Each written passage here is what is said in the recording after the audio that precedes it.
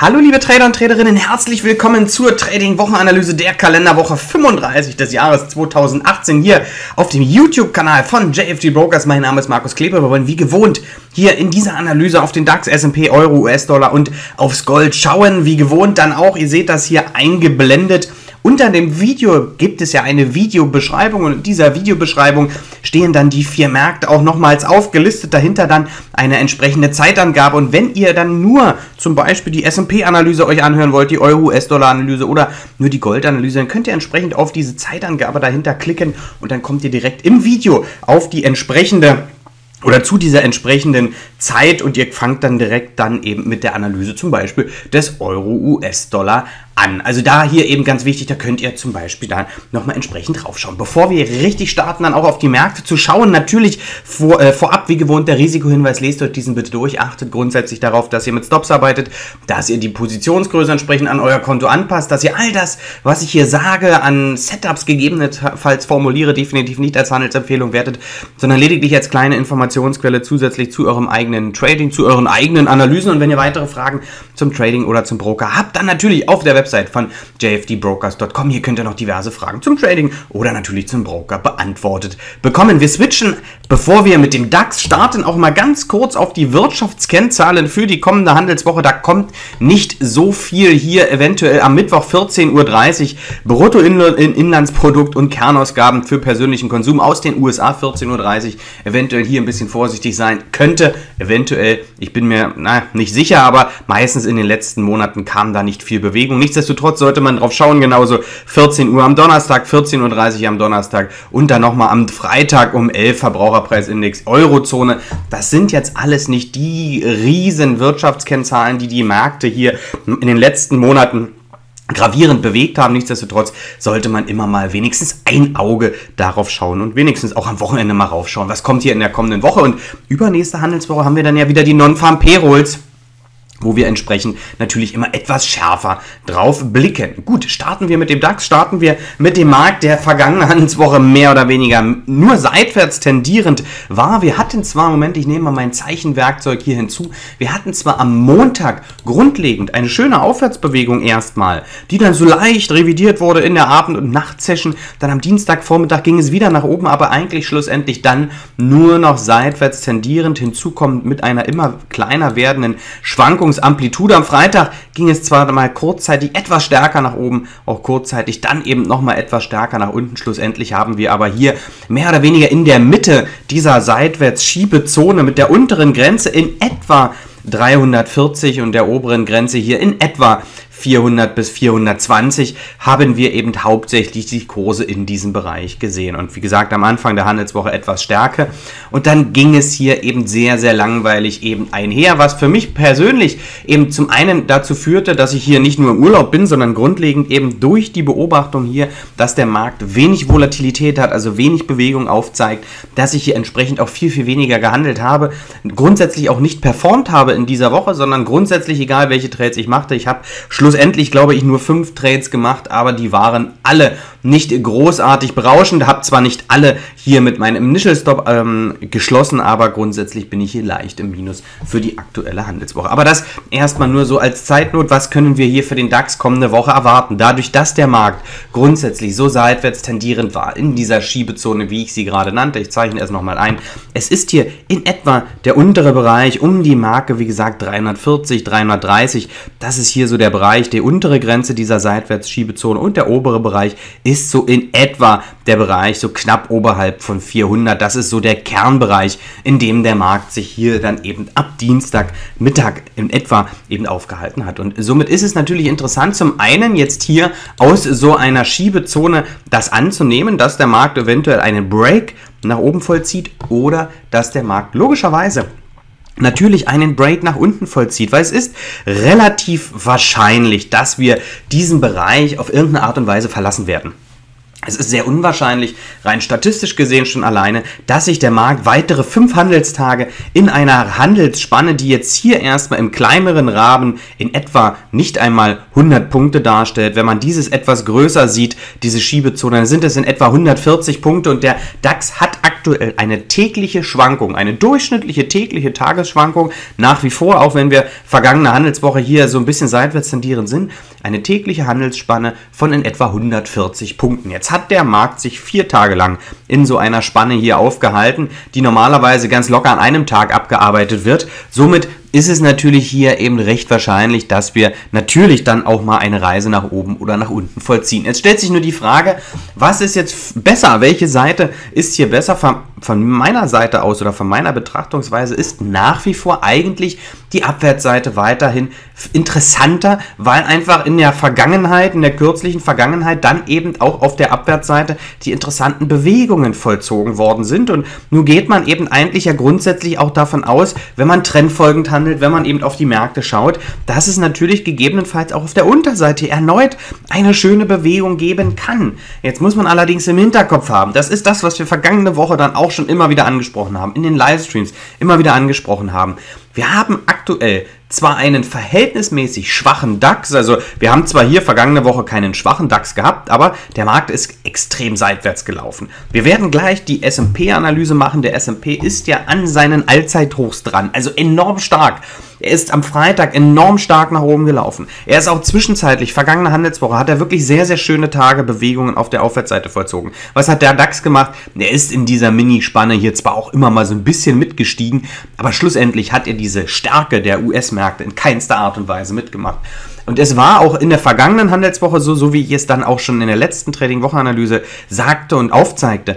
Wenn der S&P, wenn die US-Märkte mal so ein bisschen abgegeben haben, dann führte es gleich dazu, dass dann entsprechend auch der DAX Bewegung auf der Abwärtsseite zeigte und zwar teilweise auch merklich. Und ich bin dann am Freitag schon davon ausgegangen, dass es, äh, oder habe im Prinzip auch einen Trade darauf angesetzt, dass hier unterhalb von 380 eventuell die Abwärtsseite interessant werden könnte, dass wir dann vielleicht einen schwächeren S&P sehen. Schlussendlich war der S&P stark, auch von Anfang an ab 15.30 Uhr. Trotzdem, nichtsdestotrotz habe ich hier einen Versuch, ja, äh, oder zwei Versuche waren es am Freitag sogar im, äh, im DAX auf der Abwärtsseite versucht, die beide schlussendlich nicht rosig ausgegangen sind. Einer mehr oder weniger Break-Even und das muss ich nochmal schauen und einer äh, ja, der zweite ist Break-Even ausgegangen und der erste mit in etwa äh, 15 Punkten minus. Also nicht so rosig hier der, das Handeln im DAX auf der Abwärtsseite, aber er ist eben auch nicht auf der Aufwärtsseite nennenswert gestiegen. Was jetzt im Prinzip in der kommenden Handelswoche bedeutet, nach wie vor, sollte der S&P mal irgendwie einen schwachen Tag haben, ein paar schwache Momente würden schon ausreichen,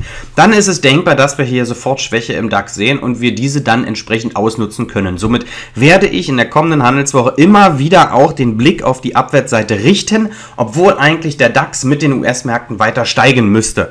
Und wenn sich hier Anzeichen geben, bestimmte Unterstützungen durchstoßen werden, in den täglichen Livestreams werden wir das immer wieder uns anschauen, dann bin ich gewillt, hier auch gerne die Abwärtsseite zu handeln mit dem ersten Ziel 300 und dann kann es durchaus hier in das Eröffnungskursniveau der Vorwoche gehen. Das ist so in etwa der 230, 220er Bereich. Das ist erstmal definitiv realistisch und sollten die US-Märkte etwas merklicher abgeben, dann ist natürlich auch schnell 12.100 bzw. 12.000 denkbar. Aber so weit, so weit will ich jetzt hier noch gar nicht gehen für die Abwärtsseite. Schauen wir uns die Aufwärtsseite an. Wir haben wir nehmen das nochmal ganz kurz raus. Ich muss dafür das Bild nochmal ein kleines Stück zusammenziehen. Wir haben auf der Aufwärtsseite nach wie vor diverse Widerstandsbereiche, die der Markt erstmal schaffen muss. Ich hatte in der vergangenen Woche im Livestream mal kurz die Frage bekommen, ob ich es für realistisch halte. Jetzt muss ich kurz lügen. Ich weiß es nicht, ob ich an, ich weiß es, glaube ich, es war Donnerstag oder Mittwoch, ob ich es für realistisch halte, dass der Markt, ich weiß es gar nicht mehr, wie gefragt war, ob es 570 war oder gar 670 als realistisches Ziel. Und da habe ich schon gesagt, es ist aus aktueller Sicht, auch wenn wir hier grundsätzlich aufwärts gelaufen sind, dadurch, wie gesagt, immer wieder, der Markt, der kennt hier nach oben eine enorme Grenze. Er kennt auch leicht drüber. Er hat letzte Woche nicht mal den 450er Bereich erreichen können. Und dann kommen hier relativ zügig diverse weitere Widerstandsbereiche, alte Tiefbereiche. Auch darüber kommen nochmal diverse Bereiche, die hier auf jeden Fall immer wieder Widerstand darstellen sollten. Auch dieser Bereich hier oben, der ist natürlich in der Vergangenheit schon mal wichtig gewesen. Und die, all diese Bereiche, die jetzt hier erstmal klein aussehen, ja, weil es immer nur mal vereinzelt Tiefpunkte sind, Aber dadurch, dass der Markt extreme Schwierigkeiten auf der Aufwärtsseite hat, sind dann eben solch Widerstandsbereiche immer wieder Situationen, wo der Markt ein bisschen abgeben kann. Ja? Auch wenn er schlussendlich vielleicht in der kommenden Handelswoche eben nicht diese Abwärtsseite nach unten hier aufbaut, die vielleicht dann auch noch mit so einer kleinen Trendlinie hier eben eingezeichnet werden kann mit diesem Break nach unten und so weiter. Also da gibt es ja verschiedene Herangehensweisen, wie man dann Triggerkonzepte sich ausarbeiten kann für die Abwärtsseite. Wenn wir uns weiter für die Aufwärtsseite entscheiden, sprich der S&P baut weiterhin neue Allzeithochs aus, der klettert weiter nach oben, 2900 und da sind die, der 2900 ist schon gar nicht mehr so weit weg, schauen wir uns gleich an den S&P, dann ist es natürlich auch denkbar, dass der DAX hier langsam nach oben dümpelt. Aber ich würde auf jeden Fall meine Ziele nicht zu aggressiv wählen, was da bedeutet, hier sofort mit einem Trade irgendwie so eine Rutschrichtung 570 oder gar Richtung 670. Das ist etwas zu hoch angenommen für den DAX. Ich würde mit konservativen Zielen arbeiten, schauen, dass ich trotzdem vernünftige Chance-Risiko-Verhältnisse hinbekomme wenn ich hier mit diesen Zielbereichen, wie ich sie eingezeichnet habe, äh, eben arbeite. Äh, und im Swing Trading wäre ich eben mit der Aufwärtsseite erstmal, ja, weiterhin, aber ich bin halt einfach nicht davon überzeugt. Man kann es natürlich machen, mit einem vernünftigen Chance-Risiko-Verhältnis kann man auch die Aufwärtsseite handeln mit dem Gedanken, dass der US-Markt oder dass die US-Märkte den DAX eben doch ein Stück weit nach oben mitnehmen. Aber äh, schlussendlich äh, bin ich, wie ihr merkt, von der Aufwärtsseite nicht so, nicht so dermaßen überzeugt und ich schaue mal, ob ich diese dann überhaupt handle oder einfach darauf warte, dass das eventuell mein Short-Setup einsetzt und wenn es nicht einsetzt, dann habe ich halt Pech gehabt. Ja? Das sind wenige Wochen im Jahr, wo ich so konservativ dem Trading gegenüber eingestellt bin. Mir kommt zugute, dass ich aktuell im Urlaub bin und eigentlich vergangene Woche Handelswoche und äh, jetzt die kommende Handelswoche und wenn ich dann hier auch noch so eine beschissenen, auf gut Deutsch, Entschuldigung, aber so eine bescheidenen äh, Marktphasen habe, dann bin ich natürlich umso weniger hier böse, dass ich hier in meinem Urlaub dann gar nicht so viele Möglichkeiten bekomme, hier überhaupt zu handeln. Schauen wir auf den S&P, den ich jetzt schon so oft angesprochen habe. Wir sind im S&P auf der Reise nach oben. Ich habe hier erstmal den 4-Stunden-Chart etwas zusammengezogen und wir sehen, dass der Markt aktuell relativ sauber, verhältnismäßig verhältnismäßig sauber, muss man fast sagen, eben hier eben gen Norden unterwegs ist. Und dass wir jetzt hier eben schlussendlich diese Allzeithochs hier in der CFD-Indikation angelaufen sind, das ist etwas unterschiedlich zum S&P-Markt an sich und das ist auch leicht unterschiedlich zum Future, aber schlussendlich sind alle Märkte, alles was S&P bedeutet, hier im Bereich der Allzeithochs. Bedeutet enorm stark.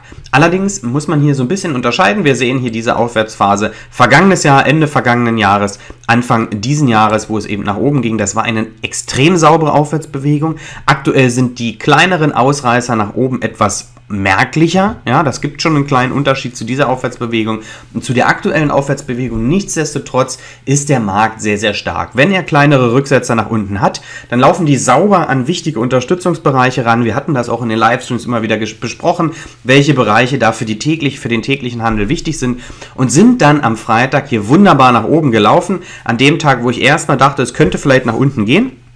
Ja, ist es nicht. Der ähm, S&P ist sauber nach oben an die Allzeithochs rangelaufen. Jetzt ist es natürlich hier, warum nicht, definitiv denkbar, dass es weiter nach oben geht.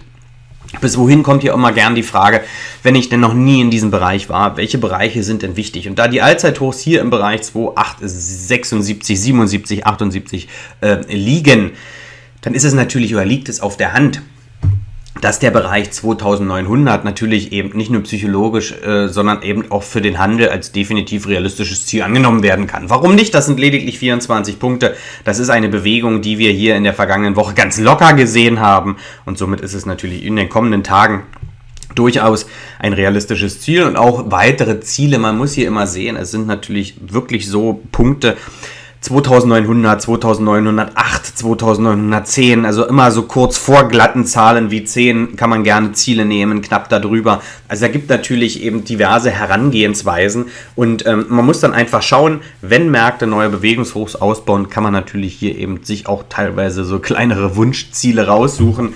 Ich persönlich gucke mir das auch immer so ein bisschen gerade an, wie läuft der Markt grundsätzlich nach oben, wenn er neue Bewegungshochs gemacht hat, wie weit ist er dann gelaufen, projiziere dann natürlich entsprechend entsprechend meine Ziele nach oben. Das ist jetzt hier ein bisschen zu detailliert für die Trading-Woche-Analyse. Fakt ist, definitiv kann der Markt nach oben laufen. 2,9 ist ein realistisches Ziel. Das gucken wir uns jetzt nochmal detaillierter an, welchen Bereich der Markt jetzt hier nach unten nicht unterschreiten sollte, um erstmal sauber in diesem Aufwärtstrend zu bleiben. Und wir hatten vergangene Handelswoche auch auf jeden Fall über diesen Bereich 2845 ges gesprochen. Wir hatten ja hier den Start der vergangenen Handelswoche, auch 2825 war noch ein Unterstützungsniveau, was in der vergangenen Woche, was in den vergangenen Wochen schon lange hier immer im Markt drin liegt und dann ist der Markt hier zwischenzeitlich mal kurz nochmal an dieses Unterstützungsniveau gelaufen, ist dann nach oben gekommen und hat schlussendlich am Freitag, wie gesagt, diesen Bereich nach oben hier durchstoßen. Somit haben wir nach wie vor, das war auch ein Bereich in der vergangenen Handelswoche hier, der Bereich 2863, dieses grau markierte Unterstützungsniveau, das alte vorherige Hoch, dann kam der Markt nochmal Richtung 2800 nach unten, lief dann schlussendlich jetzt hier hoch in Richtung der Allzeithochs und das ist jetzt hier erstmal das erste kleine Unterstützungsniveau, was ich im Daytrading erstmal als Unterstützung auch sehen würde. Also solange der Markt hier oberhalb von dieser 63 bleibt,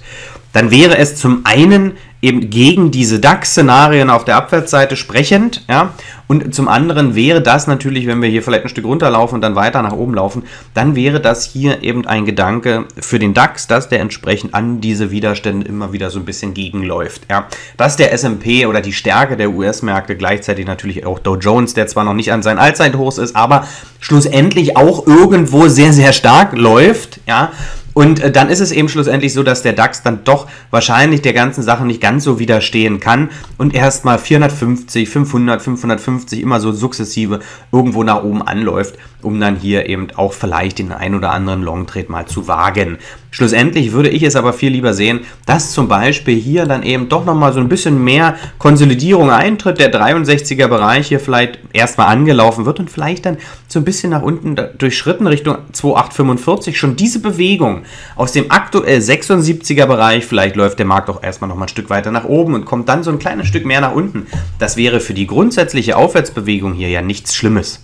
Ja, aber diese Abwärtsbewegung, die würde im DAX schon dazu, dazu führen, höchstwahrscheinlich, dass es etwas nach unten geht, dass eben die Bereiche eben, was wir gerade besprochen haben, äh, äh, ähm, na, Moment, wir schauen kurz drauf. Da habe ich die, den Kurs auch selbst gerade nicht im Kopf. Also das hier unten der Bereich, genau, 12.280 bzw. 12.200 dann realistisch erreicht werden könnte. Das sind dann hier diese Rutschbewegungen auf der Abwärtsseite. So, also grundsätzlich das jetzt hier erstmal zum S&P und gleichzeitig, man muss eben beide Märkte so ein bisschen auch mal zusammen betrachten, dann eben auch schlussendlich im DAX. Schauen wir auf den Euro-US-Dollar. Der ist erstmal grundsätzlich auch relativ stark auch stärker, als ich es selbst erwartet hatte. Ich hatte gesagt, unterhalb von 1,1530 in etwa. Das war hier, nachdem der Markt eben aus dieser Seitwärtsschiebezone nach unten ausgebrochen ist. Das war der Bereich, den wir hier eingezeichnet hatten. Dann ist ja der Markt eben schlussendlich, was wir eben auch handeln konnten, wo wir Geld verdient haben, hier eben nach unten ausgebrochen. Ist schlussendlich jetzt hier vergangene Handelswoche oder vorletzte Handelswoche in den 1,13er Bereich gelaufen. War dann hier zum Ende der Handelswoche im 1,1430er Bereich Bereich und ich hatte gesagt, ja, es ist durchaus denkbar, übergeordnet gerade auch, dass wir eben diesen 1,1530er Bereich hier nochmal anlaufen, dass hier der Markt eigentlich reagieren sollte tat er auch, was mir im persönlich im Daytrading dazu verhalf, dass ich diesen eingegangenen Short Trade mit diesem Gedanken, den ich vergangene Handelswoche hier grundlegend auch kundgetan habe, dass ich hier zwar minimal verloren habe, aber eben mit Abstand nicht das, was ich hätte im Maximum äh, verlieren können. Und zwar habe ich hier nur die Hälfte meines Risikos verloren. Wir gucken uns das gleich auf kleiner Zeitebene auch an. Was ist dann schlussendlich passiert? Man hätte natürlich auch relativ zügig auf die Aufwärtsseite switchen können. Ich persönlich habe es nicht gemacht. Bei uns im Livestream der ein oder andere ist hier auch auf der Aufwärtsseite unterwegs gewesen. Schlussendlich ist dieser wichtige Bereich nach oben durchstoßen worden. Er wurde nochmal direkt von oben exakt getestet, um jetzt hier wieder dann den Schlusskursbereich auch in, im Bereich 1,1630 zu markieren. Und der Bereich, der ist jetzt extrem wichtig für die kommende Handelswoche. Denn wir haben in diesem Bereich, wir haben hier diese große Seitwärtsschiebezone und wir haben in diesem Bereich dann hier gerade am Ende, ja, gerade am Ende hatten wir in diesem Bereich hier ich zeichne das auch hier nochmal ein, eben wirklich über ein, eine, fast einen ganzen Monat hier so eine Seitwärts-Schiebezone von gerade mal 100 Pips. Und wir sind jetzt an dieser unteren Kante dieser Schiebezone mehr oder weniger dran. Und dieser Bereich sollte, beziehungsweise hat ja schon einmal Widerstand gegeben, so dass der Markt nochmal in diesen 1530er Unterstützungsbereich reingelaufen ist. Jetzt ist er wieder rein. Bedeutet jetzt aber, wenn wir weiter steigen, bin ich in dieser Phase hier oben erstmal vorsichtig. In diesem Bereich zwischen 1,1630 äh, und 1,1730 bin ich erstmal vorsichtig. Aber, das hatte ich in der vergangenen Handelswoche auch schon gesagt, der Bereich hier oben, ein 1730 bzw. knapp davor. Schaut mal, wir hatten, und das ist eben jetzt schon wichtig für die kommende Handelswoche, das kann eben schon durch zu Dampf führen. Ja, wir hatten hier auf größeren Zeiteinheiten, wir sind gerade im 4-Stunden-Chart, also wirklich markant, Vierfach-Test, einen Vierfach-Test dieses 1,1730er Bereiches beziehungsweise knapp darüber. Was natürlich dazu führt, das hier für all diejenigen, die auf der Abwärtsseite unterwegs sind, für all diejenigen, die vielleicht Long einsteigen möchten und so weiter, gibt es diverse Überlegungen, die an solch wichtigen Bereichen dann stattfinden. Das kann dazu führen, dass der Markt hier dann eben schlussendlich mit Dampf etwas durchgeht und hier entsprechend dann auch in nächste Widerstandsbereiche reinläuft und gegebenenfalls sogar hier den Bereich 1,1820 nach oben durchstößt und in den 1,19er Bereich läuft. Also ich bin erstmal zwischen 1,1630 und 1,1730 vorsichtig. Würde knapp vor 1,1730 mal schauen, wie sich das Bild dort zeigt. Vielleicht nicht im ersten Versuch, sondern im zweiten Versuch hier dann versuchen auch mal so einen Long-Ausbruch nach oben zu antizipieren. Sprich, entweder versuche ich dann eben schon in so einem Rücksetzer, der hier eventuell nochmal stattfindet, einen in einen 16er Bereich vielleicht schon die Long-Seite einzugehen, diese Position laufen zu lassen mit dem Gedanken, dass es dann hier durchgeht. Oder bei einem zweiten Anlauf mal diesen Break nach oben zu antizipieren, dass es dann vielleicht gegebenenfalls mit Schmackes hier durch diesen Widerstandsbereich durchgeht. Das wären jetzt Gedanken auf der Long-Seite. Allerdings, wie gesagt, erstmal ein bisschen konservativer definitiv in dieser Schiebezone, weil es kann durchaus sein, dass wir auch hier drinnen hängen bleiben und hier einfach wieder erstmal hin und her laufen in der kommenden Handelswoche. Die Abwärtsseite wird erst wieder interessant, wenn wir unter 15,30 laufen. Sprich, wir haben jetzt hier unten auch weniger Handlungsbedarf. Ich bin hier ein bisschen konservativer sage wirklich oder gehe von meiner persönlichen Herangehensweise davon aus, erst wenn wir wieder hier runterrutschen, dann wird die Abwärtsseite interessant. Entsprechend genauso wieder wie vergangene Handelswoche in Richtung 1,1430, in Richtung 1,13, also dieser vorherigen Tiefs. Das ist dann denkbar, aber dafür müssen wir dann erstmal hier reingehen. Somit sind wir auch in diesem Bereich mehr oder weniger eben auf Hold. Wir schauen uns die ganze Sache an. Wenn hier Dampf aufkommt auf der Abwärtsseite, bin ich vielleicht auch schon mal gewillt, kurz vorher bei Bewegungen nach unten hier mal so ein Break von 1,1530, so einen Ausbruch nach unten zu antizipieren. Das wäre auch noch denkbar, aber schlussendlich haben wir hier zwei Bereiche, wo ich vorsichtiger bin und dann oben bzw. unten Bereiche, wo es gegebenenfalls etwas mehr zu Action kommt. Ob das in der kommenden Handelswoche schon so sein wird, werden wir sehen. Versuche meinerseits werden bestimmt hier in Richtung beider, also entweder nach oben oder nach unten eben, ja, durchaus äh, realistisch passieren. Schauen wir uns Gold an. Gold ist nach wie vor eben eigentlich relativ schwach. Wir hatten letzte Woche oder vorletzte Woche im Prinzip, nee, vorletzte Woche genau, diese Reise nach unten hier auf einmal Mitte der Woche in, in den Bereich 1160, also so, wie so ein kleiner Sell-Off. Aber ich habe mir das größere Bild hier jetzt auch nochmal angeschaut im Gold, weil natürlich auch hier die Frage immer kam. Ich persönlich habe es in den letzten Wochen weniger gehandelt, in der vergangenen Handelswoche gar nicht. Schlussendlich sind wir ja hier nach wie vor, ich zeichne erstmal kurz ein, wir sind schon nach wie vor immer noch abwärts tendierend. Wir hatten hier dann eben grundsätzlich die Abwärtsseite immer schön sauber ausgebaut. Wir sind an, an alte Tiefs rangelaufen, haben schlussendlich dann immer wieder neue Tiefs ausgebaut und hatten jetzt am Ende hier so ein bisschen so ein, so wie so ein Sell-Off. Sell-Off bedeutet, dass es dann teilweise am Ende einer vielleicht Abwärtsbewegung nochmal etwas schneller geht und das Zurückschnallen entsprechend ging jetzt auch etwas zügig. Aber was jetzt hier wichtig ist, wir sind schlussendlich nur in den Bereich dieses Breakouts hier im Bereich 12.05, in diesem Breakout-Bereich zurückgelaufen. Wer sich daran erinnert, dieser Bereich 12.05 war hier schon, ich glaube, über zwei oder drei Trading-Wochenanalysen immer schon ein wichtiger Bereich, weil wir hatten hier vorher zwei Schiebezonen, die sich oberhalb dieses Bereiches zeigten. Das war dann eben der Bereich oberhalb von 1216 und dann war es der Bereich hier eben bis hinab in den Bereich 1205. Und von dort aus setzte er dann diese Abwärtsbewegung, diese erneute Abwärtsbewegung ein, worüber wir auch immer gesprochen hatten. Mein Gedanke war ja jetzt, dass der Markt eben unterhalb von 1194 hier beziehungsweise auch noch unterhalb von 1181 eben durchaus potenziell Potenzial hat, die, Auf äh, die Abwärtsseite hier entsprechend wieder aufzunehmen. Auch das hat jetzt erstmal grundsätzlich nicht so funktioniert. Also der ein oder andere, der hier die Abwärtsseite mal versucht hat, hat entweder einen Break-Even-Trade oder eben leichte Minus-Trades hinnehmen müssen. Aber wir sind jetzt nach wie vor und somit hier auch nochmal das Einzeichnen des übergeordneten Bildes. Wir sind meiner Meinung nach nach wie vor in, in einer Abwärtsbewegung drin. Was jetzt bedeutet, wir hätten jetzt natürlich hier erstmal noch leichtes Potenzial nochmal nach oben. Moment, das machen wir nochmal mit Pfeilen. Ähm, wir hätten jetzt natürlich hier erstmal nochmal leichtes Potenzial nach oben in diesem Bereich. Ja, da sind, sind wir noch nicht hundertprozentig dran gewesen. Aber alles, was jetzt darunter ist, wäre von meiner Seite weiterhin interessant für Abwärtsbewegungen. Zum einen, wenn wir nochmal ein Stück weit hochlaufen in den 1205er Bereich, dann hier entsprechend nach unten in die nächsten Unterstützungsniveaus, gegebenenfalls sogar mit Dampf. Auch wenn wir jetzt gleich etwas Schwäche sehen, wäre eben der Gedanke hier entsprechend nach Short, nach Short zu suchen, definitiv vertretbar. Sollte man jedoch hier ein negatives Feedback bekommen, sollte das alles wie in der vergangenen Handelswoche nicht so funktionieren, dann eben Handelsaktivitäten zurück, zurückfahren, Positionsgröße gegebenenfalls zurückfahren und hier eben das Risiko somit reduzieren wenn das hier eben nicht so funktioniert, wie man sich das jetzt hier grundsätzlich vorstellt. Sollte es weiter nach oben gehen, sollten wir schlussendlich den 94, äh, den erstmal ja den 94, 94er Bereich hier halten können, schlussendlich wieder über 1205 gehen, dann ist natürlich, die sind die nächsten Widerstandsbereiche durchaus realistisch angreifbar, 1216 und dann geht es hinauf in den Bereich in etwa 1230, knapp darunter, das ist dann hier so diese obere Grenze dieser vorherigen Schiebezone, das sind eben zwei Widerstandsbereiche, die die durchaus realistisch erreichbar sind. Und wenn wir uns hier die vergangenen Handelswochen oder die vergangene Handelswoche anschauen,